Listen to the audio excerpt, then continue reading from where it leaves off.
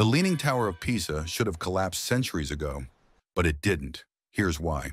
Construction began in 1173, and the builders had no idea the ground beneath the tower was far too soft.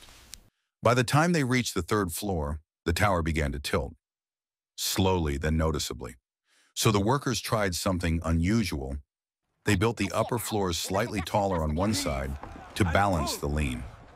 It looked curved, but it didn't solve the real problem. Over the next 800 years, construction paused and restarted many times.